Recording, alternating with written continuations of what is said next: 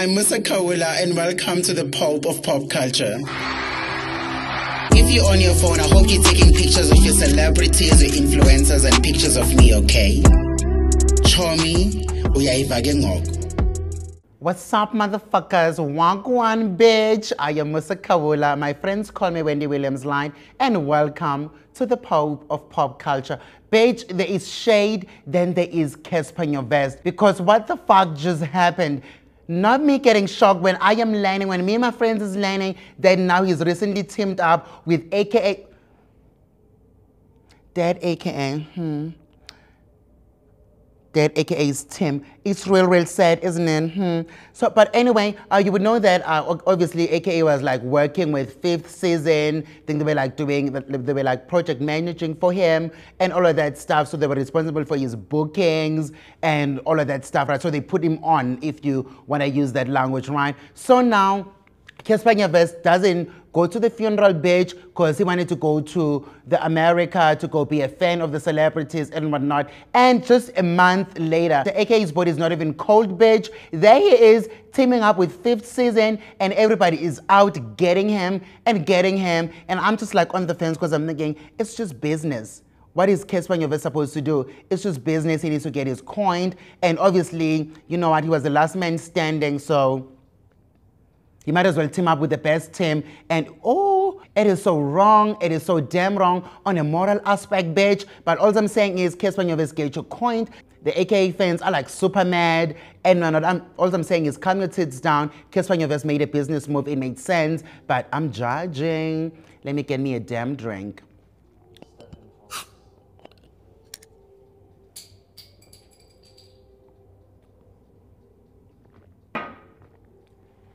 While speaking of this whole uh, AKA dead and whatever hmm, situation, right, uh, you're to know that obviously AKA had a brother, Stefan, and whatnot. So Stefan took to his socials to address Nota, and he's like, you know what, this is the last time this is the first and last time, rather, that I'm addressing this bitch because he doesn't even know what he's talking about. You're to know that, obviously, since we've learned or since we know of AKAs having died at the Wish on Florida, in them Durban, right? So uh, Nota is talking like to himself to like, you know, call people out, call Abu KO, call out uh, a whole lot of other people, right? So now this guy is saying this, Stefan, saying that, you know what, Nota doesn't even know what he's talking about and whatnot. And I'm sure Nota is like fucking livid wherever he is because, bitch, bitch, Nota knows what he knows, and I don't even think he cares what uh, this Stefan brother has to say. And I only learned about Stefan like now when when the actual Forbes man died.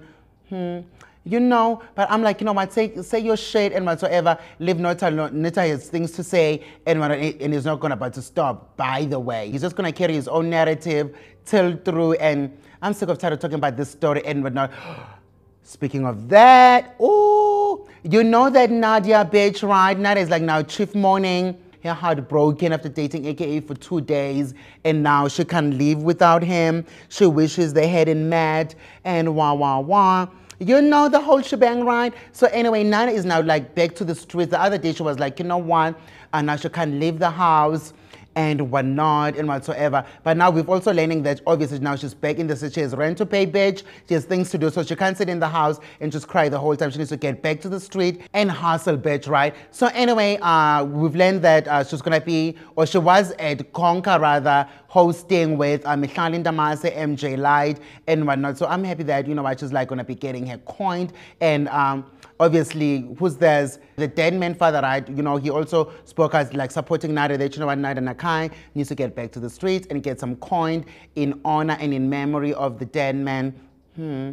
Right. So anyway, uh, let's just move on from the dead people stories, and we're going to talk about other things. So anyway, uh, I thought we were done with, with all of them stories, right? Then I am thinking, obviously, Dallas is also under fire, right? Because uh, he's been too silent when it comes to the whole movement, uh, the justice for AKA situation, and whatnot. Yo, you know what? It's just a lot going on. Uh, Dallas obviously also saying that, uh, you know what? Who's this?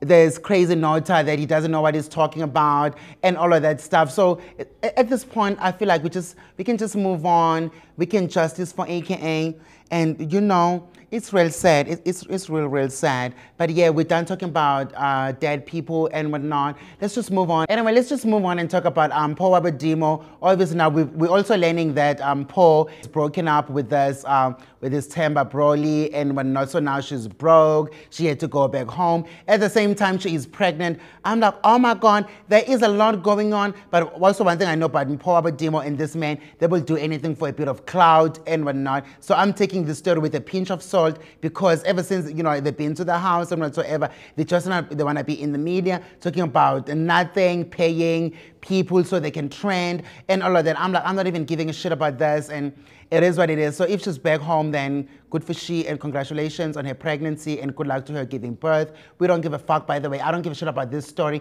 I don't give a shit about this story I was talking about earlier. I don't give a shit at all. So it is what it is. And I'm just to go and yeah, bye babies.